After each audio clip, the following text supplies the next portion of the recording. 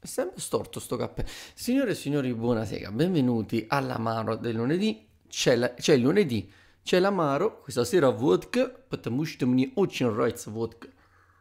Mm. La vodka tipicamente rossa, molto buona.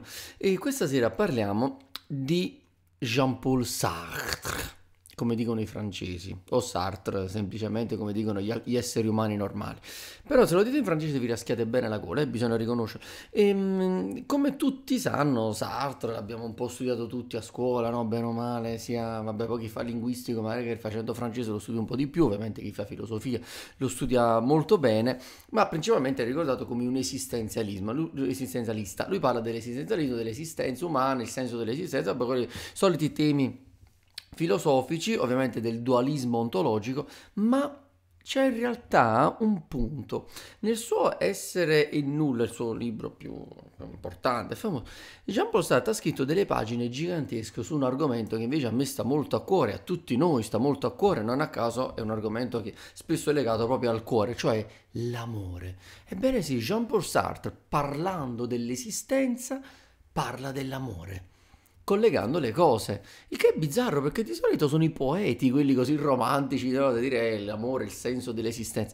E invece Jean-Paul Sartre, esistenzialista, ha deciso comunque di unire a, a, tra i vari sentimenti, ha parlato anche della vergogna, di tanti sentimenti umani, però eh, ovviamente quando parla dell'amore lo descrive in una maniera così bella che ragazzi non si può non portare nella rubrica dell'amaro del lunedì. E quindi tuffiamoci a parlare di questo figo dell'amaro, eccolo qui Jean-Paul Sartre, una specie di Beppe Marotto della filosofia, una roba veramente straordinaria. È un grandissimo personaggio, l'ho sempre adorato. Pensate che l'ho portato all'esame di maturità, io sono Jean-Paul Sartre. Va bene, ho portato tipo nove eh, autori, ho portato Kierkegaard, Wilde, ho portato un po' tutti, ovviamente Tolstoi, il mio idolo, eccetera, c'è Pirandello. Però comunque Sartre veramente mi è sempre piaciuto. Io quando eh, ero ragazzino ho letto mh, La nausea e sono rimasto scioccato. Infatti dopo parliamo di alcune cose, della... purtroppo non qui il libro portato di mano perché sto in pieno trasloco prima ho messo su Instagram. Comunque questa sera si parla dell'amore. Ah, che bel sentimento, il senso della nostra, il fulcro, il centro, della, la finalità della nostra vita principale, no? E quindi, signori, così commossi e pieni di voglia di parlare d'amore, anche perché in tutti i sensi, quando nasce, ma anche quando finisce. Eh? Quindi pronti a parlare dell'amore, lanciamo la sigla e poi tuffiamoci nella filosofia di Sartre. Ah, adesso la gola è molto meglio, vediamo.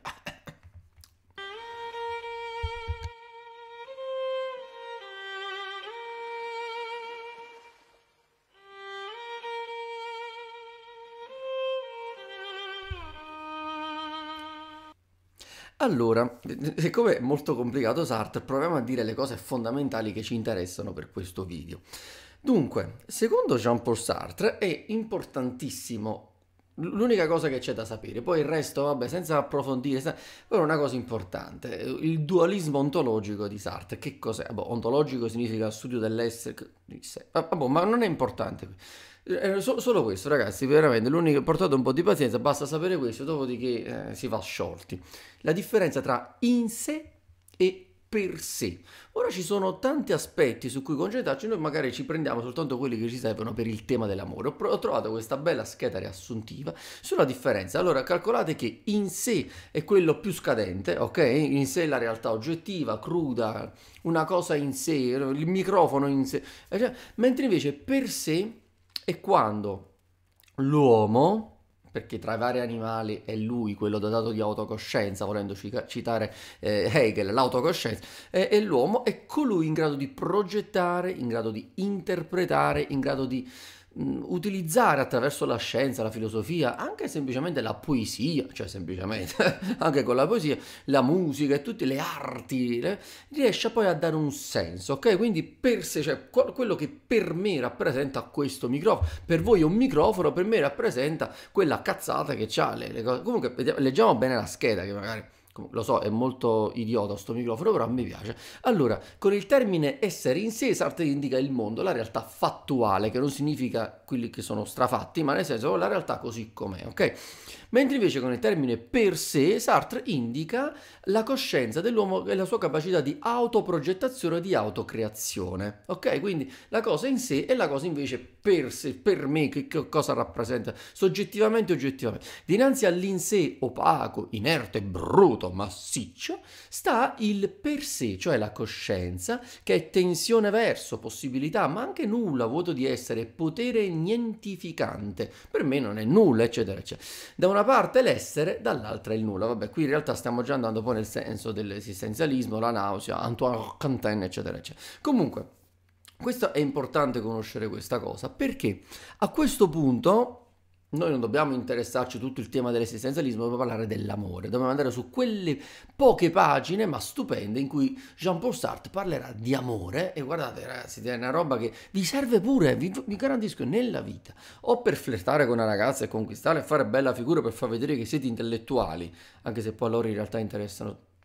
i soldi, però almeno la maggior parte, almeno soprattutto quelle che becco. Però per il re, o, o, o così, oppure, oppure semplicemente per voi stessi, così quando prendete un 2 di picche perlomeno avete una giustificazione, ecco che sono pagine molto importanti. E allora, tutto parte dallo sguardo. Ora dovevo cercare una bella foto per lo sguardo e ho scelto la Rosasen, la meravigliosa fotomodella della, del um, clip dei Linkin Park, Crawling, la, una delle mie canzoni preferite. Crawling in my skin.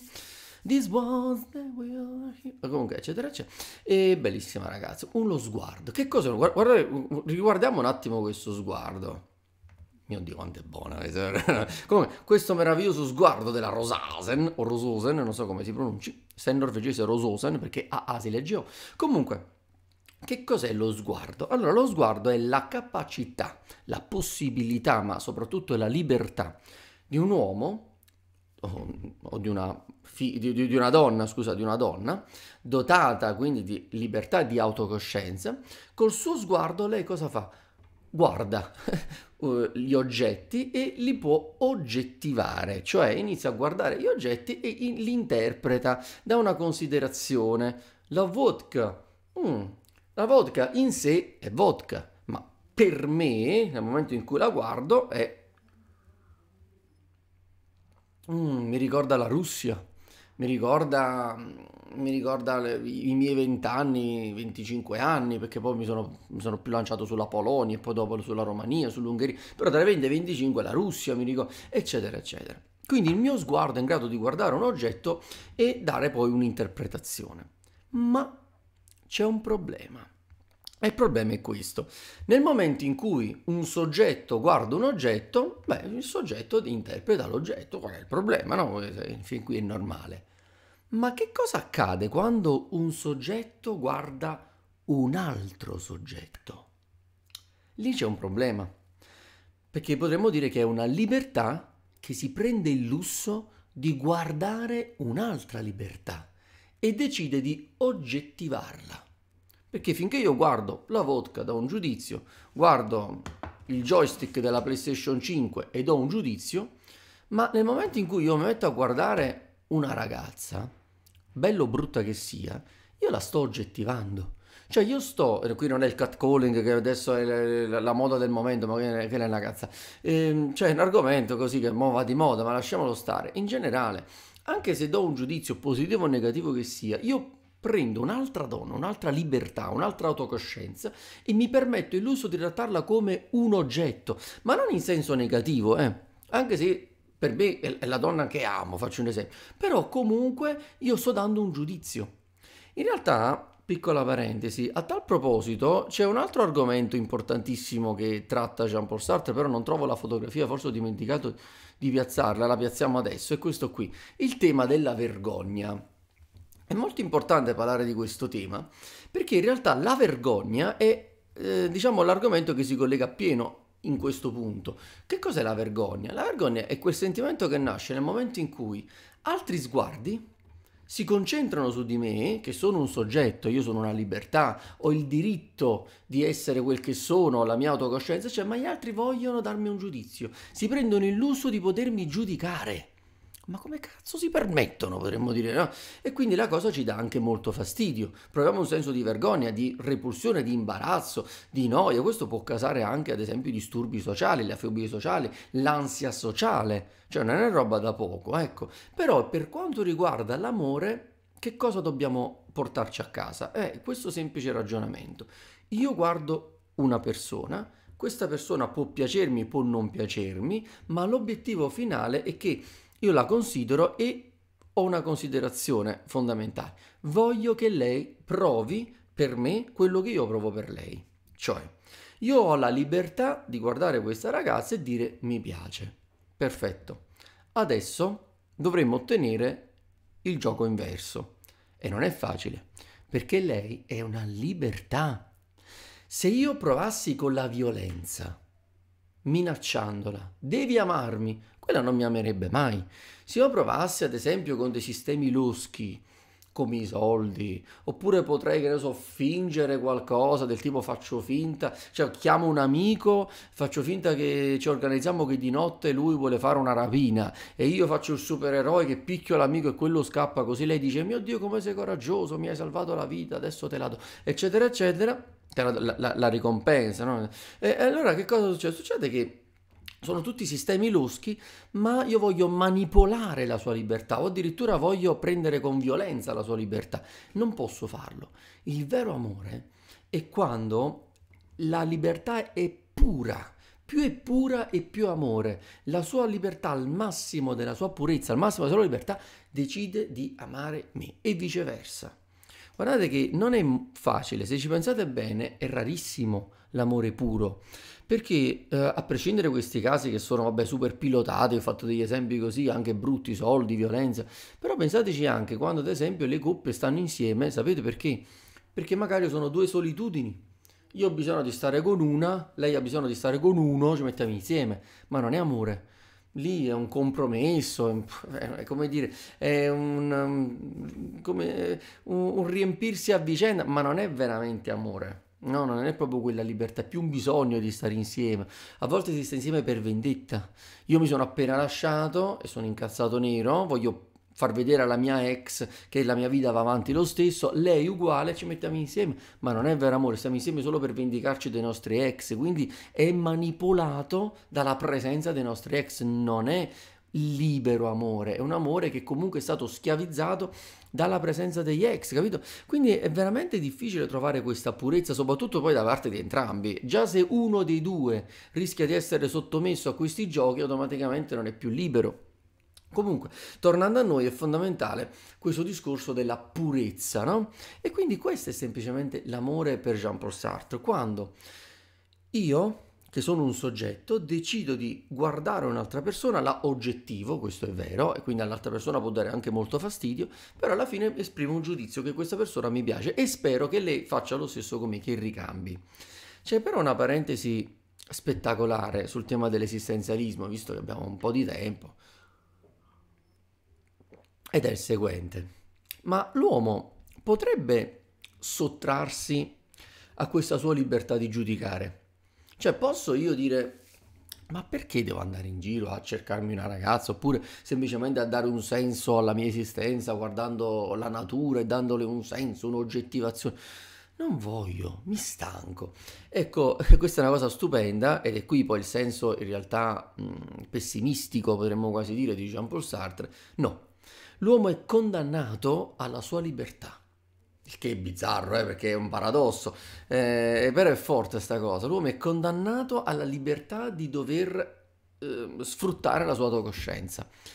Gli animali, bene o male, un albero è un albero, faccio un esempio, quindi l'albero in sé è un albero, non è che può pensarci più di tanto. L'animale non è che si fa tanti discorsi filosofici, a meno che non, non, mi diciate che le iene hanno appena fatto una facoltà di filosofia in Africa, ma per il resto è l'uomo, colui dotato di autocoscienza, che si fa ste pippe mentali, potremmo dire, ed è però condannato. L'uomo non può farne a meno. Quindi così come eh, per quanto riguarda l'amore, la vergogna o altri sentimenti, l'uomo è condannato a dover dare un senso alla propria vita.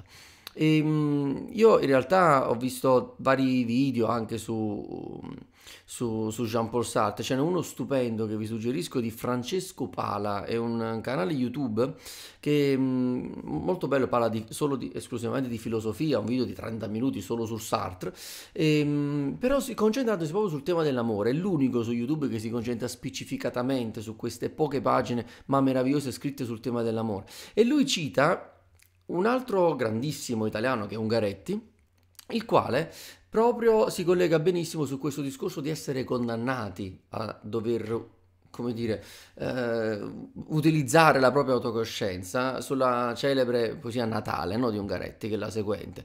Non ho voglia di tuffarmi in un gomitolo di strade, ho tanta stanchezza sulle spalle, lasciatemi così, come una cosa posata in un angolo e dimenticata. Qui non si sente altro che il caldo buono. Sto con le quattro capriole di fumo del focolare. Se ci pensate bene, questo è proprio il senso ultimo di questa non voglia slash condanna dell'uomo di dover utilizzare la sua coscienza, la sua coscienza per sé quando un uomo proprio si stufa, no? Perché infatti poi alla fine, secondo San Paul Sartre, sono principalmente due i sentimenti che si possono provare quando si è condannati a dover utilizzare la propria autocoscienza. Il primo è la nausea, che ti viene fuori, e qui a questo punto mettiamo la fotografia del grande Antoine Roquentin, che ti viene fuori nel momento in cui ti rendi conto che è impossibile dare un senso a questo mondo, perché molte delle cose in realtà un senso non ce l'ha accadono e basta. Qui però entreremo nel campo dell'astrofilosofia e sono cose che preferirei poi mh, eh, affrontare in seguito, soprattutto su un video che sto preparando con preparando. Quando dico così sembra manco che perdo ore, io arrivo qui 5 minuti prima, piazzo 4, 4 foto dentro e accendo la camera. Quindi, però mentalmente su Alan Guth, un grandissimo, grandissimo intellettuale che appunto parla di filosofia e di astronomia, unendo le cose, no? quindi parleremo di quello. Però ripeto, un senso spesso questa vita non ce, l'ha, non ce l'ha volendo citare anche Vasco Rossi, lo so, stiamo tutti pensando a lui. Um, e poi l'altro sentimento che si, pro- si può provare è l'angoscia citando anche il buon Kierkegaard. Quindi in generale Sartre da un lato è bellissimo perché scrive bellissime parole sull'amore, dall'altro però il senso pessimistico dell'esistenzialismo esce fuori, anche perché a un certo punto, e qui concludo il tema sull'amore, accade purtroppo una cosa bruttina, alquanto bruttina che è um, questo. È vero che l'amore può dare un senso alla nostra esistenza, perché nel momento in cui eh, noi diamo un senso a varie cose, ok, siamo soddisfatti, ma quando riusciamo a trovare l'amore, a dare un senso all'amore, finalmente diamo un senso alla nostra esistenza. Quindi non possiamo farne a meno, soprattutto dell'amore. Dannazione. Però succede anche una cosa, che a un certo punto l'amore può finire. Ebbene sì, perciò prima parlavo del duo di pic o di altre cose. L'amore può finire. Quando è che finisce? Quando il mio sguardo, ehm, nel momento in cui si posa su un altro sguardo, anche se precedentemente quella persona per me significava molto, all'improvviso quella persona per me non significa più tanto. Anzi, nulla.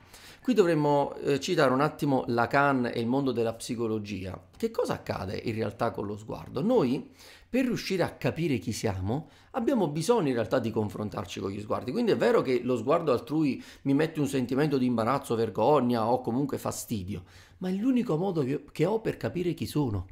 E noi al tempo stesso abbiamo una gerarchia di sguardi. Una cosa è lo sguardo dei miei genitori, con i quali ovviamente posso avere un feedback molto importante, no? Un padre che mi guarda facendo mm, mi mette soddisfazione, un padre che mi guarda facendo che delusione, mi, mi sto male perché come figlio deludere un padre non è mai il top, no? Eccetera, eccetera. E quindi, oppure ci sono persone, un tizio, un tizio strano per strada mi guarda così, dice, ma cazzo me ne frega a me quello che pensa di me? C'è questa gerarchia di sguardi. Ecco, quando noi scegliamo una persona amata, quello sguardo diventa per noi il più importante di tutti. Ma poi può anche capitare dopo qualche anno che all'improvviso quello sguardo per noi non significa più niente. Addirittura in psicologia si arriva a dire che il bambino, già quando è allattato al seno della mamma, cerca lo sguardo della mamma, cerca l'incrocio e guarda lo sguardo della mamma. Fa così bambino. E quindi noi nasciamo così a un certo punto, però quello sguardo che per me era importantissimo perché mi serviva per dare un senso a me stesso, non me ne frega più. La persona amata adesso mi guarda e può pensare di me quel cacchio che vuole, non me ne frega niente. È finito l'amore. È finito. Si può cercare di recuperare, si può cercare di capire perché, qui si entra nel campo della psicologia, ma finisce. È finito. Quindi è così che termina l'amore, no? quando quello sguardo non è più importante. Quindi Ripeto, è tutto un gioco di sguardi, potremmo dire. Il mio sguardo che cerca una persona da amare e al tempo stesso lo sguardo degli altri che è fondamentale per capire chi sono. E questo accade perché l'uomo è una libertà dotata di autocoscienza, coscienza per sé e non in sé. Mm? E, ehm, a questo punto, come sapete, andiamo sempre a finire su One Piece, ma qui ragazzi veramente ho già detto tutto. Questa cosa è bizzarra perché se ci pensate bene, One Piece, qui mi rivolgo ovviamente ai fan de, del manga, è, questo, è un manga unico no? da questo punto di vista, perché il finale lo sappiamo sin dall'inizio, e tra l'altro il titolo dell'intera opera, ma non sappiamo che cos'è. Che cos'è questo tesoro di nome One Piece? Che cos'è questo obiettivo di tutti i pirati che vogliono andare a raggiungere questo tesoro in questo manga che, per chi non lo sapesse e pensa che il manga è un cartone animato per bambini, in realtà il manga è un'opera automaticamente artistica e letteraria tipica del Giappone, dove viene studiata anche nelle scuole, è, una, è un'opera di filosofia a tutti gli effetti, il manga, soprattutto questi manga poi che si protraggono per anni e anni con delle trame complicatissime, sono molto più complicati di tanti libri che abbiamo. E allora mm, questo One Piece è un tesoro che nessuno sa che cos'è, ma tutti lo vogliono. Beh ragazzi, ma questo non è la libertà di decidere e di interpretare quel tesoro. Per cui quando un bambino che non sa praticamente nulla del mondo, non sa praticamente nulla di quel tesoro, decide di lanciarsi sin da piccolo e dire io voglio diventare re dei pirati. Che cosa significa? Non lo so, voglio diventarlo. Voglio conquistare quel tesoro. Che cosa contiene? Non lo so, ma lo, ma lo voglio conquistare. Fino al punto quando lui poi dirà per me essere re dei pirati è l'uomo più libero, si parla di libertà. Guardate che alla fine il tema della coscienza per sé, della libertà e dell'interpretazione che si dà alla propria vita innanzitutto, eh, perché tutto questo, ripeto, è il tema dell'esistenzialismo, dare un senso alla propria esistenza, l'amore, L'amore che ovviamente può essere eh, per una donna, in questo caso si parlava principalmente dell'amore, ma anche l'amore per un sogno, l'amore per un obiettivo, l'amore per la musica, l'amore per l'arte, l'amore in generale, anche se però ripeto, quando si tratta di amore di un'altra persona sono poi queste due autocoscienze, quindi lì è un gioco più complicato. Nell'altro caso eh, sono forti passioni, potremmo dire. Però in tutti questi casi diamo un senso alla nostra esistenza, amore uguale senso all'esistenza. Ma che bella sta roba.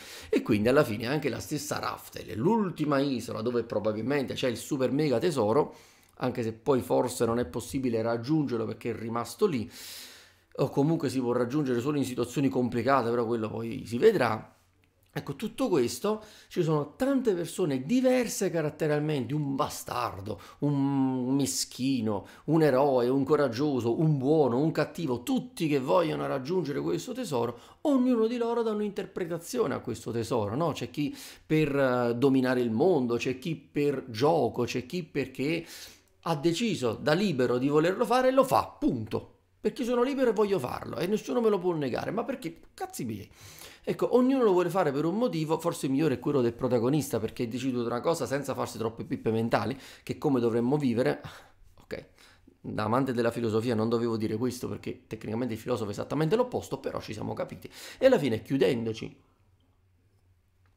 il cicchettino di vodka e ringraziando tutti per l'ascolto, io vi rimando semplicemente a questo semplice discorso. Ma voi, quando guardate la persona che amate, quello sguardo, esattamente, per voi, cosa rappresenta? E il vostro sguardo, per lei, per lui, che cosa rappresenta?